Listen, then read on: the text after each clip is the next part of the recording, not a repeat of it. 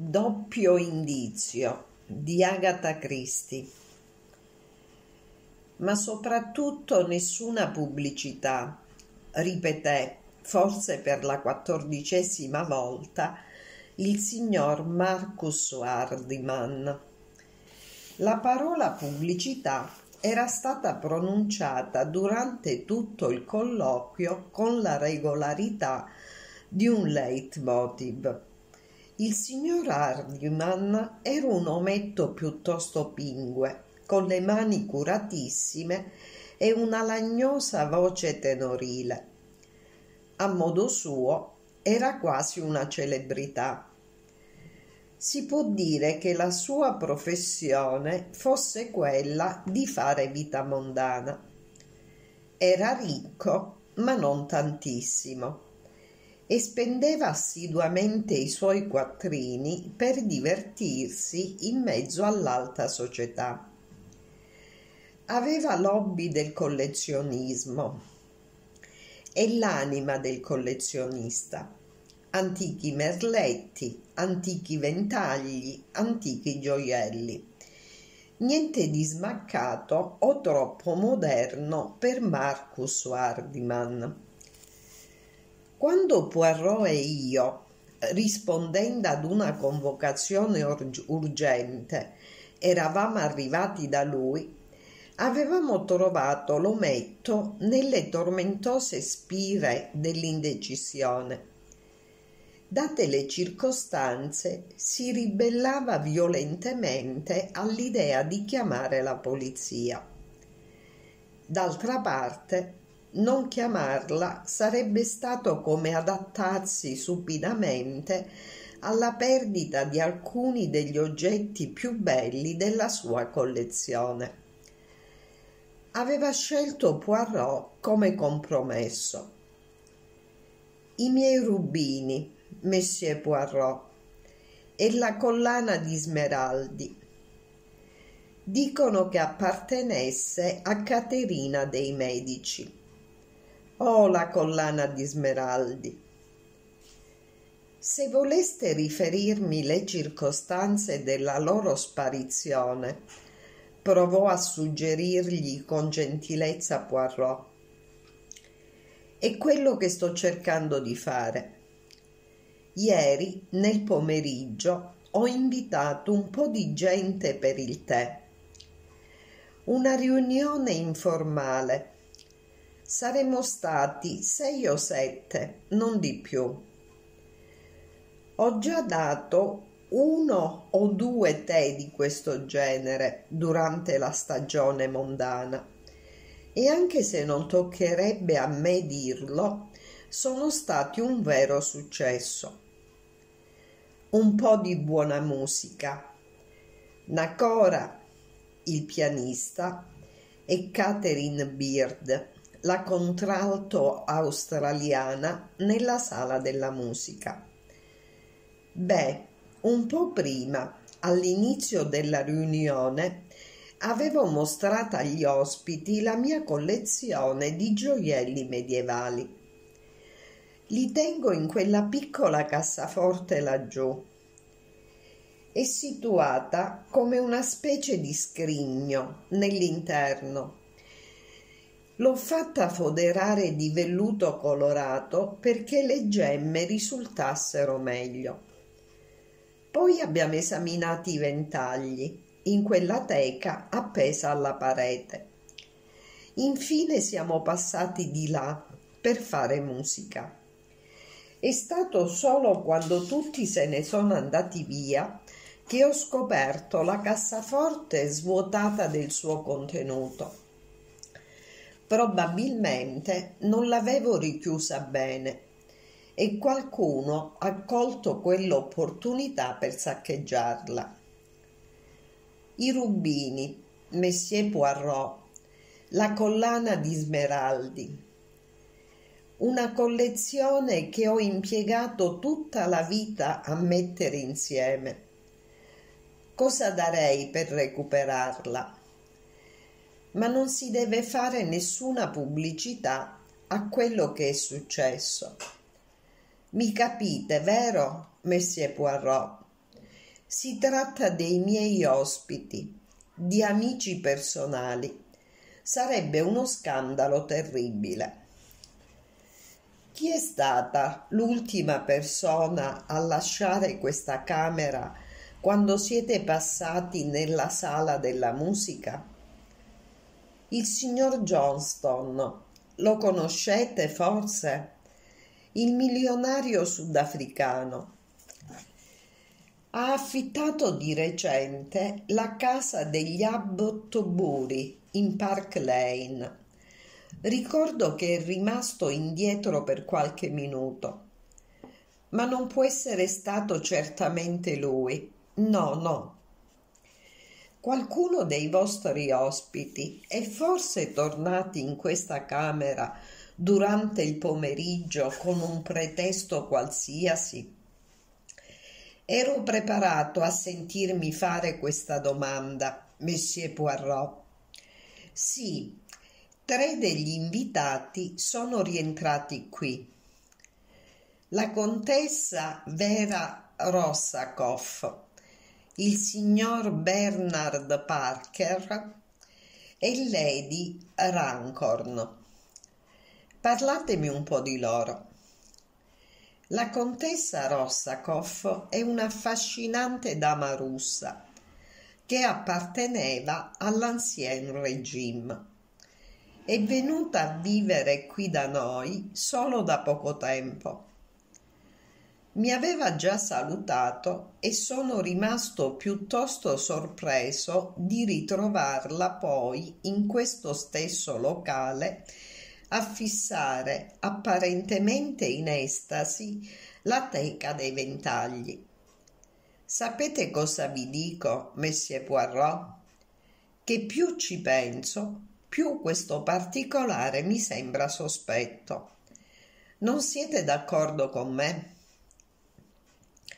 Estremamente sospetto, ma sentiamo cosa hanno fatto gli altri. Parker è venuto semplicemente a prendere una custodia in cui conservo certe miniature che volevo mostrare a Lady Rancorn e Lady Rancorn.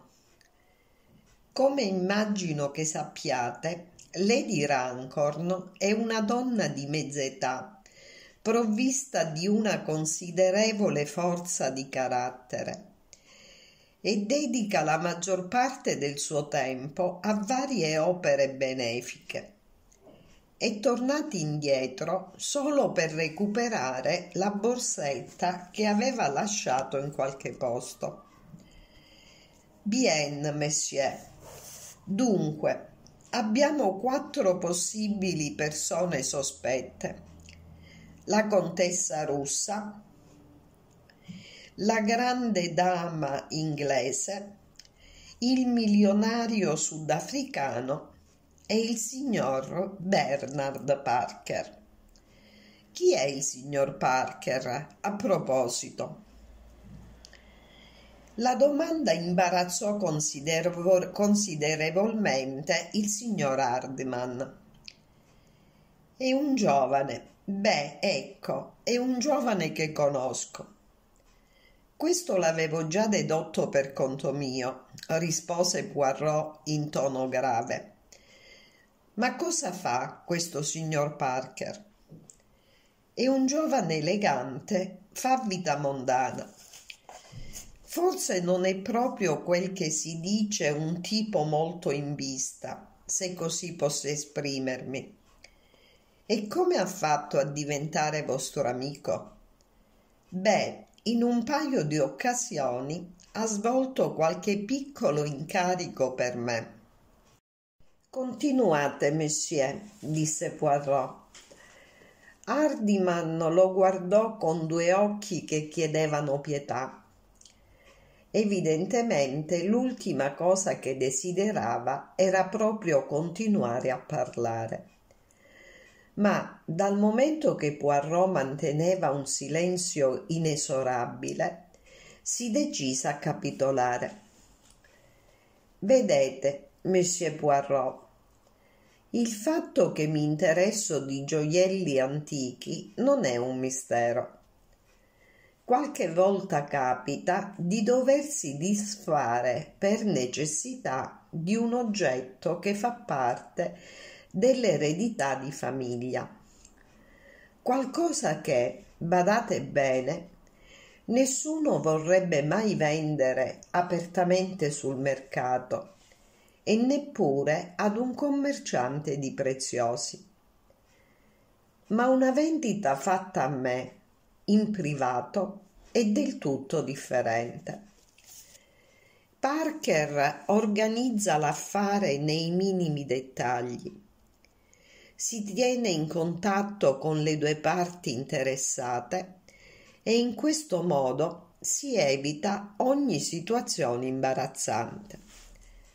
Non solo, ma mi fornisce anche tutte le informazioni possibili in materia per esempio, la contessa Rossa ha portato dalla Russia qualche gioiello di famiglia e ci terrebbe molto a venderli. Bernard Parker avrebbe dovuto occuparsi delle trattative di quest'affare. Capisco, disse Poirot pensieroso. E avete piena fiducia nel signor Parker? Non ho motivo di pensare il contrario. Fra queste quattro persone, chi sospettate? Oh, Messie Poirot, che domanda! Sono amici per me, come vi ho già detto. Non sospetto nessuno di loro, oppure tutti, come preferite. Non sono d'accordo. Voi sospettate una di queste quattro persone. Non si tratta della contessa Rossakoff, non si tratta del signor Parker. Dunque chi sarebbe? Lady Rancorn o il signor Johnston? Mi mettete con le spalle al muro, messie Poirot, davvero. Sono molto ansioso di non far nascere uno scandalo. Lady Rancorn appartiene ad una delle più antiche famiglie inglesi. È vero, però, è disgraziatamente vero, che sua zia, Lady Caroline, soffriva di una forma di malattia mentale molto triste. Naturalmente tutti gli amici ne erano al corrente e la sua cameriera si affrettava a restituire il più in fretta possibile i cucchiaini da tè o quello che era. Capite quindi la mia posizione. Dunque, Lady Rancorn aveva una zia cleptomane, molto interessante mi permettete di dare un'occhiata alla cassaforte? Mentre il signor Hardiman assentiva, Poirot spalancò lo sportello della cassaforte e cominciò ad osservarne attentamente l'interno. Ci trovammo di fronte ad una serie di ripiani vuoti, foderati di velluto. Anche adesso lo sportello non si chiude come dovrebbe, mormorò Poirot mentre lo muoveva avanti e indietro. Chissà perché. Ah, ecco, ho trovato. C'è un guanto impigliato nel cardine. Un guanto da uomo. E lo tesa al signor Hardiman. Non è mio. Ah, ma qui c'è qualcos'altro. Poirot si chinò rapidamente e raccolse un piccolo oggetto dal ripiano più basso della cassaforte. Si trattava di un portasigarette piatto, nero. Il mio portasigarette, esclamò il signor Hardman. Il vostro portasigarette? Niente affatto, Messier. Queste non sono le vostre iniziali. e gli indicò il monogramma formato da due lettere intrecciate in platino. Hardiman lo prese in mano. Avete ragione, ammise. È molto simile al mio, ma le iniziali sono diverse. Una P e una B. Santo cielo, Parker. Già, si direbbe proprio così, disse Poirot. Un giovane piuttosto distratto, specialmente se anche il guante è suo. Significherebbe che abbiamo un doppio indizio, vero? Bernard Parker, mormorò Hardiman. Che sollievo. Bene, monsieur Poirot lascio a voi l'incarico di recuperare i gioielli. Affidate pure la faccenda alla polizia, se lo credete opportuno. Cioè, se siete certo che il colpevole sia lui. Vedete, amico mio, mi disse Poirot mentre lasciavamo insieme la casa del signor Hardiman quell'uomo si è fatto una legge per le persone titolate e un'altra per quelle che non lo sono. Quanto a me, non ho ancora ricevuto un titolo nobiliare, quindi mi schiero dalla parte di coloro che non ce l'hanno. Provo una certa simpatia per questo giovane Tutta questa faccenda è abbastanza strana, non vi pare? Hardiman sospetta Lady Rancorn. Io sospetto la contessa e Johnston e invece il nostro uomo sarebbe questo sconosciutissimo signor Parker. Perché sospettavate gli altri due? Parbleu è una cosa talmente semplice farsi passare per un'esule russa o un milionario sudafricano. Qualsiasi donna può dire di essere una contessa russa. Qualsiasi uomo può affittare una casa in Park Lane e dichiarare di essere un milionario sudafricano. Chi volete che li contraddica? Adesso però mi accorgo che stiamo passando per Bury Street. Il nostro distrattissimo giovane amico abita qui. Proviamo a battere il ferro finché è caldo. Il signor Bernard Parker era in casa. Lo trovammo avvolto in una vestaglia dai colori sgargianti tra i quali predominavano il rosso e l'arancione. Mi è capitato di rado di provare tanta antipatia per qualcuno come per questo giovane dalla faccia pallida. L'aria effeminata, la pronuncia blesa più per vezzo che per un reale difetto. Buongiorno, messie disse Poirot in tono vivace. Vengo adesso da casa Hardiman. Ieri, durante il ricevimento, qualcuno ha rubato al signor Hardiman tutti i suoi gioielli. Permettetemi di farvi una domanda, monsieur. È vostro questo guanto?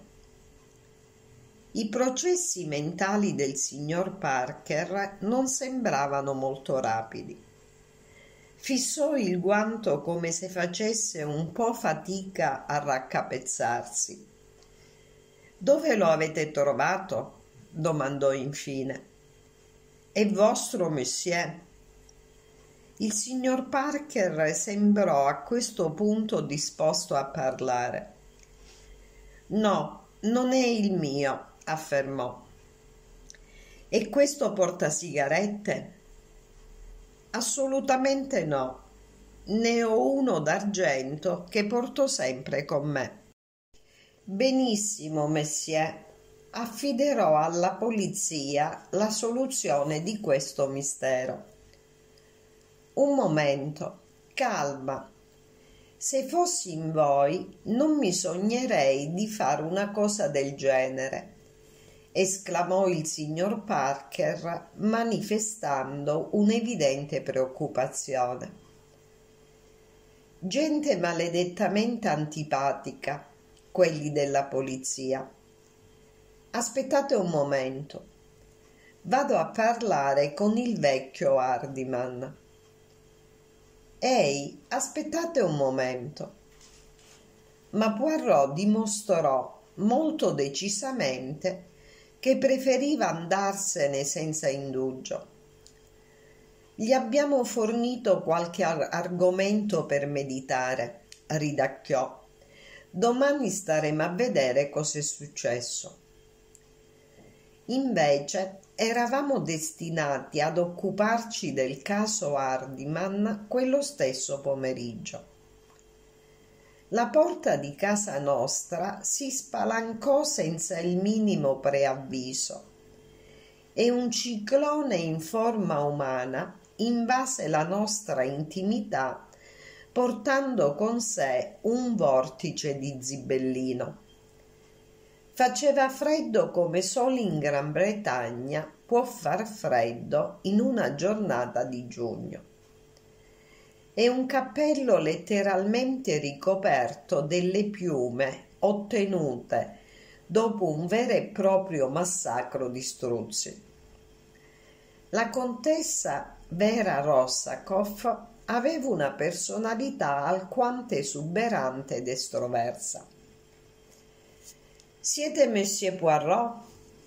Lo sapete quello che avete fatto? Avete accusato quel povero ragazzo. Una cosa infame, scandalosa. Lo conosco, è un pulcino. Non sarebbe mai capace di rubare. Ha fatto tutto il possibile per me. E adesso dovrei stare qui a guardare mentre lo martirizzano e lo torturano senza muovere un dito? Ditemi, madame, questo portasigarette appartiene al signor Parker? E Poirot le mostrò l'astuccio nero. La contessa tacque un momento mentre lo esaminava con attenzione. Sì, è suo, lo riconosco. E con ciò? L'avete trovato in quella stanza? Ci sono stati tutti e suppongo che gli sia accaduto senza che se ne accorgesse. Ah, voi poliziotti, siete peggio delle guardie rosse. E questo guanto? Sarebbe del signor Parker anche questo? Come faccio a saperlo? I guanti si somigliano tutti. Non cercate di impedirmelo. Voglio fare qualcosa quel ragazzo deve essere rimesso in libertà. La sua posizione deve essere chiarita. Sarete obbligata a farlo. Venderò i miei gioielli e vi darò molto denaro. Madame, siamo d'accordo allora? No, no, no, non discutete. Quel povero ragazzo è venuto da me con le lacrime agli occhi ti salverò, gli ho detto. Andrò da quest'uomo, quest'orco, questo mostro. Lascia fare a Vera. Adesso tutto è sistemata e me ne vado. Senza tante cerimonie, con la stessa disinvoltura con cui era entrata, uscì turbinosamente lasciando nella stanza una scia di intenso profumo esotico. Che donna! esclamai. E che pellicce! Ah sì, quelle dovevano essere vere sul serio. È possibile che una falsa contessa porti pellicce autentiche? Via Hastings, questa è una mia piccola battuta di spirito. No, credo proprio che sia russa.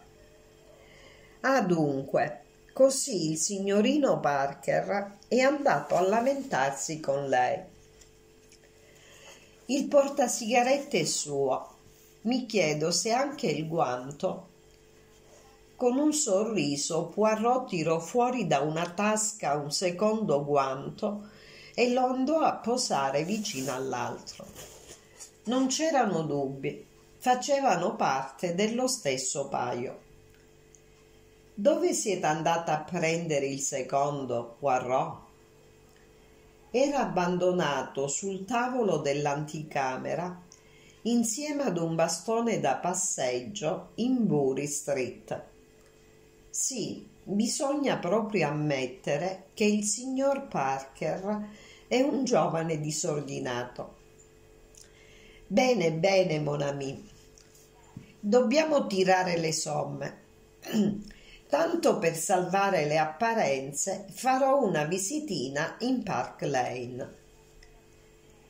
Inutile dire che accompagnai il mio amico. Johnston era fuori ma potemmo parlare con il suo segretario. Così venimmo a sapere che Johnston era arrivato solo di recente dal Sudafrica e non era mai stato in Inghilterra prima. Si interessa di pietre preziose? azzardò Poirot. Forse sarebbe più giusto parlare di miniere d'oro, rise il segretario. Poirot venne via da quel colloquio molto pensieroso. Qualche ora più tardi, quella stessa sera, lo trovai intento a studiare una grammatica russa.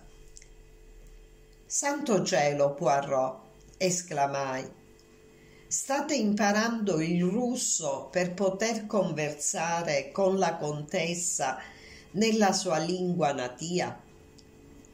Certo che quella signora non sembra affatto disposta a prestare orecchio all'inglese che parlo io, caro amico.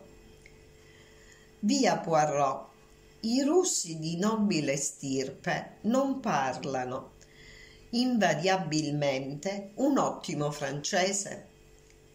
Siete una miniera di informazioni, Hastings. Sì, ecco, smetterò subito di occuparmi delle complicazioni dell'alfabeto russo. E buttò da una parte il libro con un gesto drammatico. Ma non ero soddisfatto. Nei suoi occhi avevo visto un particolare scintillio che conoscevo fin troppo bene, un segno che Poirot era contento di sé. Forse, dissi con aria saccente, sospettate che non sia veramente russa. E così volete metterla alla prova? Oh no, è proprio russa, su questo non ci sono dubbi. E allora, se volete davvero farvi una buona reputazione di detective con il caso del signor Hardman, Hastings non posso che raccomandarvi i primi elementi della lingua russa, un sussidio di valore inestimabile. Poi scoppiò a ridere e non volle aggiungere altro. Andai a raccogliere il libro dal pavimento e cominciai ad osservarlo con grande curiosità. Tuttavia non riuscì a capire a cosa volesse alludere Poirot con quel consiglio. La mattina successiva non ci arrivò nessuna notizia relativa al furto dei gioielli, ma non mi sembrò che questo fatto preoccupasse il mio amico. A colazione mi annunciò che voleva andare a far visita al signor Hardman al più presto trovammo ancora in casa l'anziano e mondanissimo piccolo uomo, il quale ci parve un poco più calmo del giorno precedente. E allora, Monsieur Poirot, ci sono notizie? Poirot gli tese un foglio di carta. Questa è la persona che ha trafugato i gioielli, monsieur. Devo rimettere il caso nelle mani della polizia? Oppure preferite recuperare le vostre pietre preziose senza che la polizia ficchi il naso in questa storia? Il signor Hardiman stava fissando il foglietto. Dopo un po' riuscì a trovare un filo di voce. Incredibile, straordinario. Preferirei senz'altro che non nascesse uno scandalo. Vi do carta bianca, Monsieur Poirot. Sono certo della vostra discrezione. Il passo successivo di Poirot fu chiamare un taxi e ordinare all'autista di condurci al Carlton. Quando ci arrivammo, chiese di parlare con la contessa Rossakoff. Pochi minuti dopo ci fecero entrare nell'appartamento che la dama russa occupava.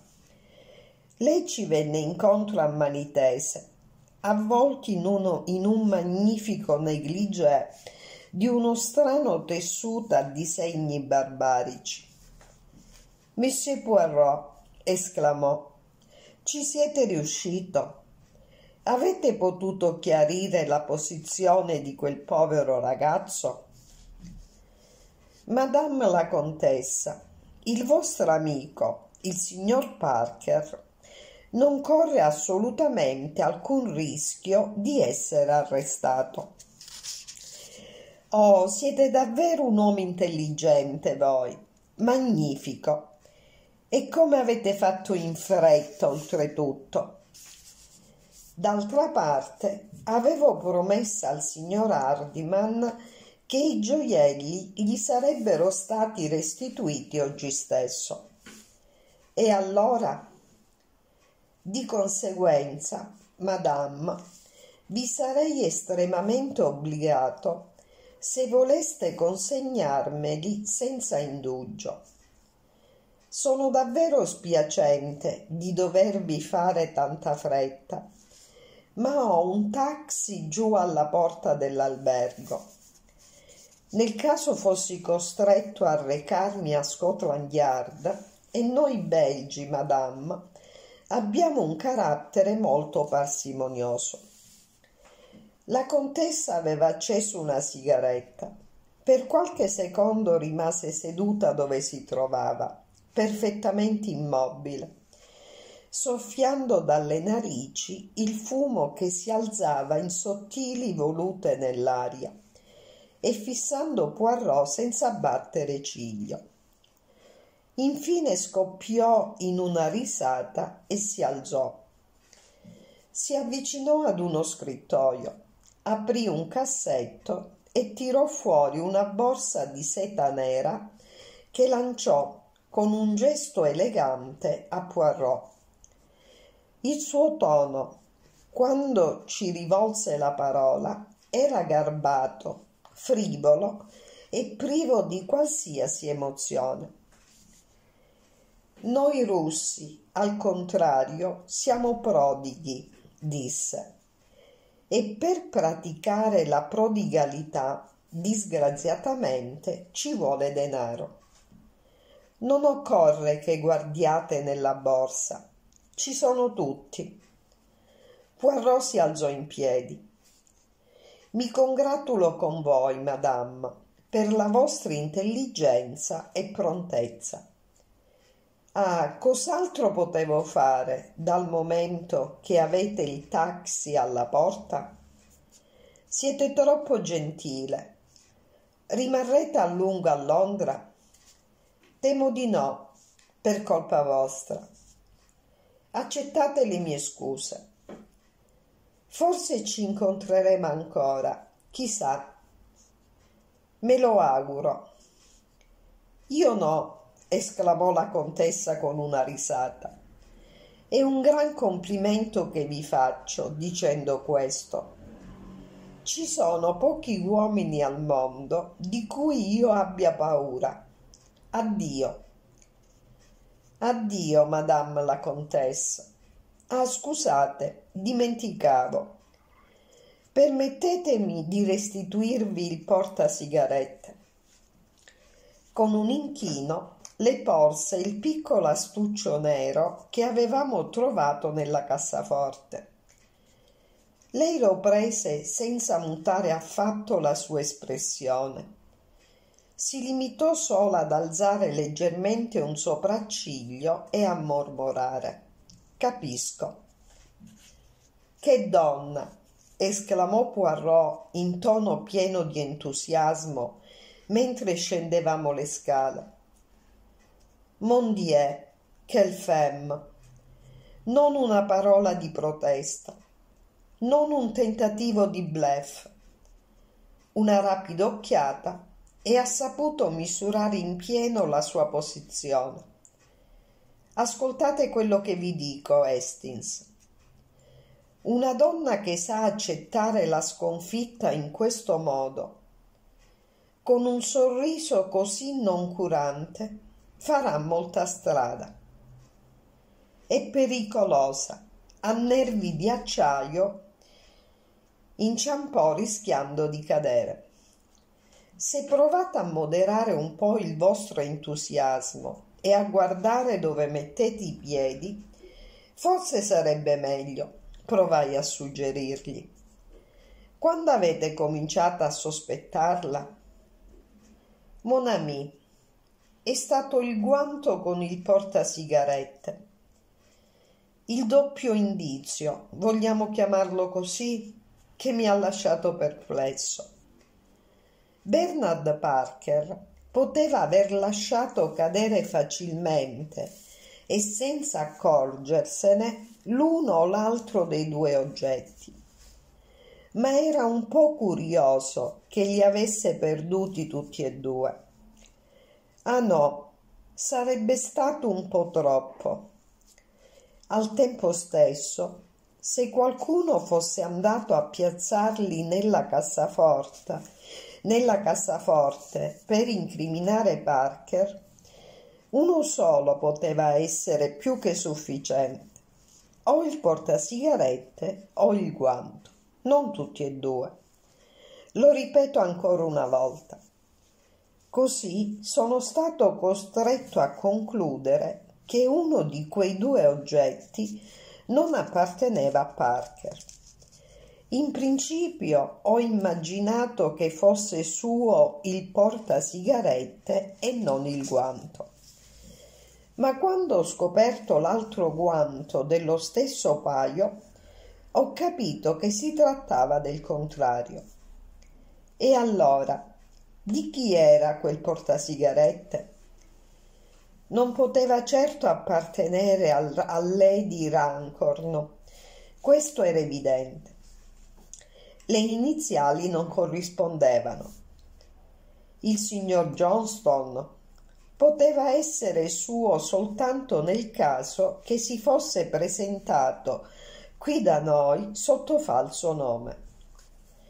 Dopo che ho parlato con il suo segretario, mi è stato subito chiaro che si trattava di una persona al di sopra di ogni sospetto. Non avevo notato nessuna reticenza da parte sua quando abbiamo accennato al passato del signor Johnston. La contessa allora. A quanto avevo sentito dire, Pareva che avesse portato con sé dalla Russia qualche gioiello. Le sarebbe bastato togliere le pietre preziose dalle montature e non so se in seguito sarebbe stato possibile identificarle. Cosa c'era di più facile che prendere uno dei guanti lasciati in anticamera da Parker e metterlo nella cassaforte? ma bien sûr non aveva certo intenzione di lasciarsi cadere anche il proprio portasigarette. Se l'astuccio era suo, perché sopra c'erano le iniziali BP? Quelle della contessa sono VR. Poirot mi rivolse un sorriso angelico. Infatti, mon ami, nell'alfabeto russo V si scrive B, mentre R si scrive P. Accidenti, non potevate certo aspettarvi che lo indovinassi. Non so il russo io. Neanch'io l'ho mai saputo, Hastings. Ecco perché ho comprato quella grammatica e ho richiamato la vostra attenzione sui rudimenti di quella lingua. Sospirò. Una donna straordinaria. Ho la sensazione, amico mio, una sensazione molto precisa, che la incontrerò di nuovo, ma chissà dove.